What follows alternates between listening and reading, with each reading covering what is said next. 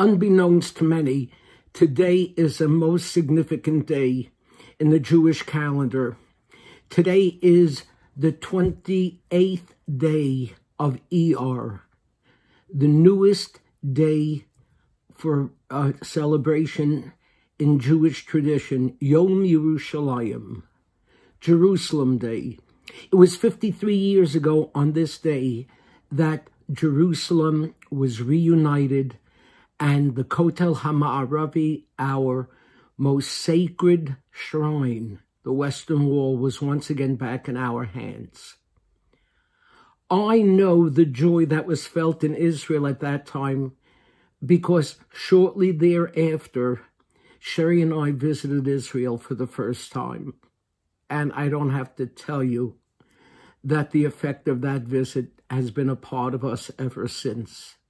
It felt as if the whole city was heading towards the Western Wall. And there was excitement in the streets. There was the thrill. There was the thrill of victory. There was a feeling that after such a decisive victory, the Arabs would finally make peace. With that hope for peace came the question of what if the Arabs insist on the return of territories? And what if they insist on the return of parts of Jerusalem, perhaps even the part that includes the Kotel Hamaravi? This question was asked to my teacher, the late great Rabbi Joseph Soloveitchik, and the answer that he gave had a profound effect on my thinking ever since to this very day. I'll quote to you some of his words. He said the following One indeed is on a great spiritual level if he desires to pray at the Western Wall.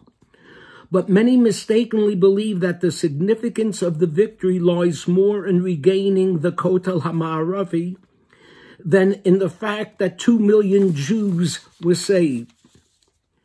I want you to understand, I give praise and thanks to the Ribono Shel Olam for liberating the Kotel Hamaravi and for liberating and for removing all Eretz Israel from the Arabs so that it now belongs to us. But I don't need to rule whether we should give the West Bank to the Arabs or not to give the West Bank to the Arabs. We rabbis should not be involved in decisions regarding the safety and security of the population.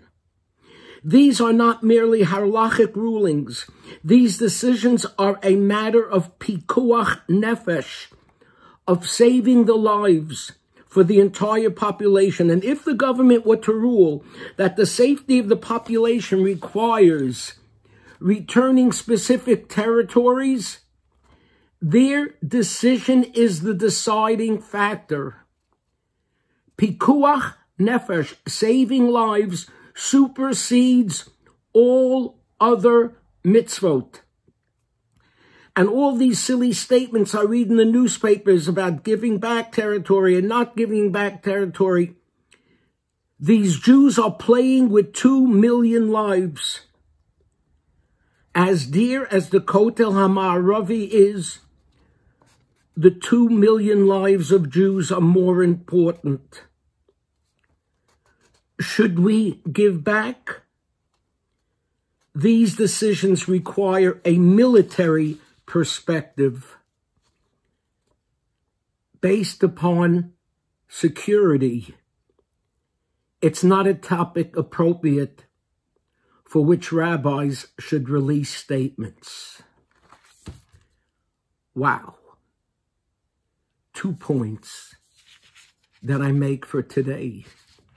First point, this shows us how Judaism cherishes every single life. To Rabbi Soloveitchik, the saving of the life was infinitely more important than retaking the Kotel Hamaravi, our most sacred shrine. That's how important Judaism considers our lives. Second point, when it comes to decisions that can affect our lives, listen not to the rabbis, but to the experts. Keep that in mind and celebrate with the Jewish people. Sisu et Yerushalayim Giluba. Rejoice in Jerusalem, all those who love it. Shabbat Shalom.